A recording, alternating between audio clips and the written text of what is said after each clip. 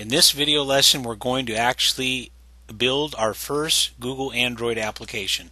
Now we've already installed the Android SDK, Java, the Eclipse program, and the plugins from Google into the Eclipse program. So we have everything we need to begin. So let's go ahead, if you don't have it already open, let's open the um, Eclipse program. We, we installed that under our C drive in the uh, Eclipse folder. Let's click on the Eclipse icon. And by default, we should be opening our Android apps.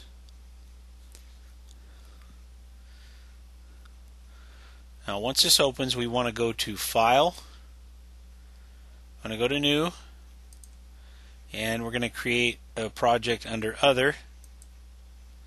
And now we have our Android folder. Let's click that and we want to create an Android project. So let's say Next. It's going to be begin building all the uh, folders and directories for us.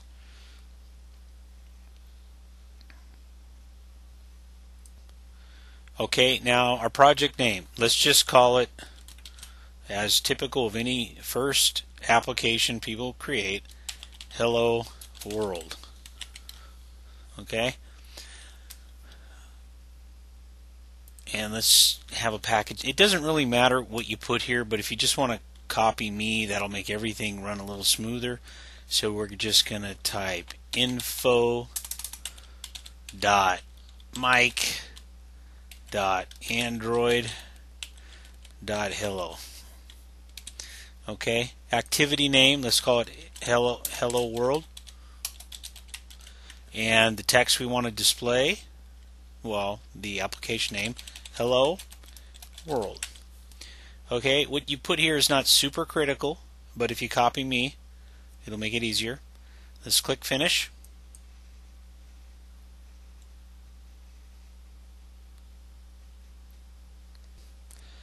Now, if you've never done any programming whatsoever before, that's okay. What you're going to see is a bunch of programming language, uh, but if you just copy what I'm doing, you'll get the idea of how all this works. So I'm going to double click on, or I'm press on the plus sign under the Hello World app we just created, and we're going to drop down hit by hitting the plus sign in the SRC folder and then we're going to double click here and then we want to select the Hello World Java application. Okay, now you're going to get some text here. We're going to edit this. Now, what all these things mean, we don't need to get into now, but it, but just copy what I'm doing, and we'll be able to create the program. Now, you remember earlier I said that your program window may appear different than mine, and that could be the case in this instance as well. Now, what's important though is that uh, you notice the line here where it says super. Now, what you see in this area may have something different, like it may say icicle or something. But the current program I have says save instant state. So, whatever it is on the line where it says super, go to the very end and hit enter. And we're going to begin typing right under where it says super. And this is what we'll type. Text view space TV equals new space text view.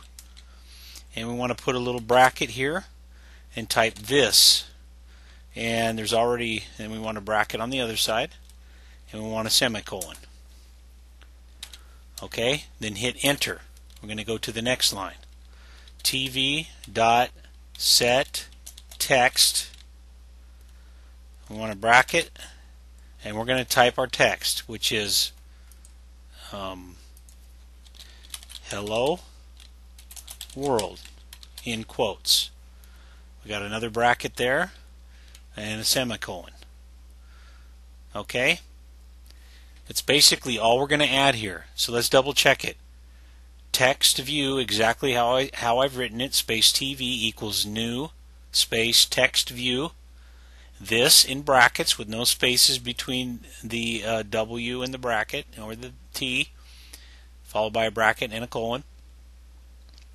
TV dot set text. Notice the capitals that I've used in various places.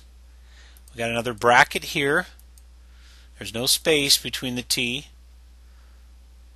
In quotes, we have hello world, another bracket, and a colon. Okay, double check your text. That's what we want. Now, the bottom line that you have may appear different than this. That's okay. Just want to make sure you insert this text right here below super. Okay, let's go up here. We'll select run. And we're going we want to run this configuration. So I'm just going to click down here, run configurations. Now it's going to ask uh, to name this, so let's go down here and click on Android. And uh, it says new configuration. We want to change that, and we're going to give it the name we just used, hello, comma, world. Keep it consistent, capital. Now, down here, we want to name it hello, world.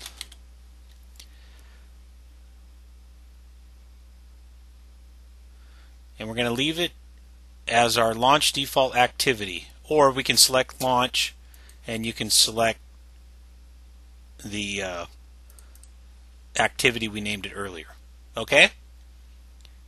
Now I'm going to hit apply. And then I'm going to hit run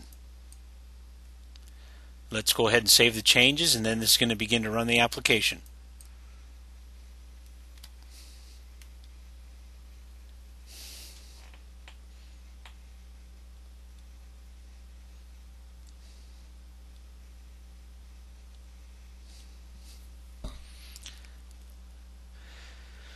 Okay, now Eclipse is now controlling our Android emulator with that plugin we installed earlier.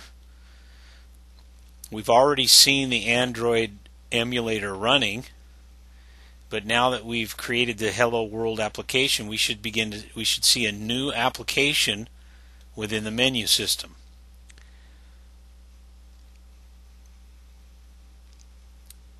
Might take just a little bit to load.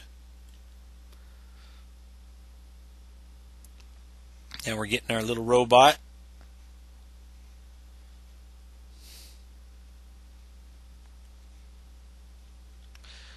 Now what we've created is a very, very simple application. Nothing fancy. We just wanted to demonstrate how you can use those programs to get something onto the Android phone that actually launches and installs. Even though it wasn't complicated, we're, we're, we're able to do it.